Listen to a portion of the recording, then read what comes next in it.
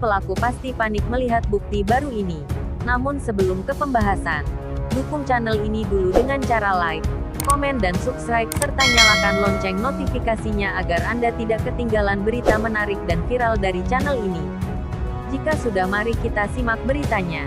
Pada kasus Tang Monida sang artis Thailand yang tewas di Sungai Chao Phraya kini memiliki bukti baru. Diketahui jika beberapa bukti mulai terbongkar dalam kasus meninggalnya Tang Monida ini. Bahkan, Panida ibunda dari Tang Monida yang baru-baru ini diduga akan undur diri dari kasus sang anak, kini masih terus lanjutkan dengan adanya bukti baru. Dalam kasus meninggalnya Tang Monida ini, ada beberapa orang yang diduga lalai dalam mengawasi sang artis tersebut sehingga para tersangka bisa saja akan dijebloskan ke dalam penjara karena bukti baru tersebut. Dilansir Teras Gorontalo dari springnews.co.th pada tanggal 16 Juni tahun 2022. Simak ulasannya.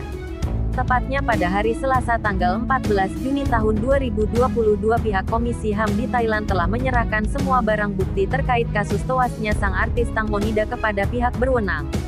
Di dalam proses perkembangan barang bukti menyangkut insiden kematian Tang Monida, kini hal itu telah disampaikan oleh Majelis Pembina kepada Institut Ilmu Forensik. Dan proses penyerahan barang bukti tersebut dikabarkan bukti yang diserahkan adalah kain ikat pinggang Tang Monida dan kain tersebut dikabarkan akan diperiksa DNA serta kaitan kain lainnya yang menempel di tubuhnya. Menurut informasi yang disampaikannya bahwa sebelumnya setelah tanggal 30 Mei tahun 2022 Ibu Panida dan pengacara sebagai anggota Partai Sri Wilayah Thailand telah menyerahkan beberapa barang bukti.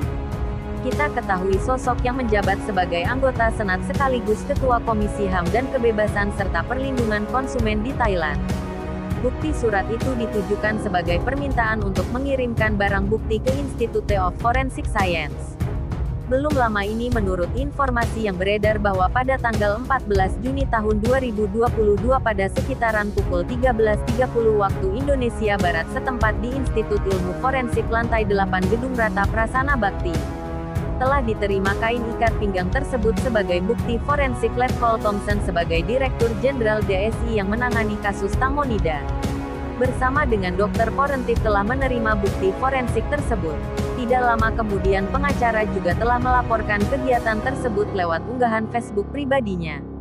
Cerita kain ikat pinggang Tang Monida saat ini Komite HAM telah menulis surat kepada Kejaksaan Provinsi Nontaburi tentang kain ikat pinggang yang diduga adalah milik Tang Monida untuk diperiksa dan dimasukkan ke dalam berkas penyidikan dari kantor polisi. Satu sebab sebelumnya Kejaksaan Provinsi Nontaburi dan kantor polisi satu tidak menerima kain ikat pinggang tersebut untuk diverifikasi dalam berita acara investigasi. Oleh karena itu Komite HAM akan mengirimkan kain ikat pinggang tersebut ke DSI yang kemudian akan dilaporkan langsung oleh DSI kepada Menteri Kehakiman serta Institut Sains. Kementerian Kehakiman wajib menerima kain ikat pinggang tersebut untuk dilakukan tes DNA lebih lanjut unggahan Facebook pribadi Tang Monida itu telah diposting pada hari Selasa tanggal 14 Juni tahun 2022 pukul 2 siang waktu setempat, dengan menggunakan hashtag Tang Monida harus mendapatkan keadilan warga masyarakat Thailand semakin dibuat heboh. Nah, gimana menurut Anda? Jangan lupa tulis komentar kalian ya. Sampai jumpa di berita selanjutnya.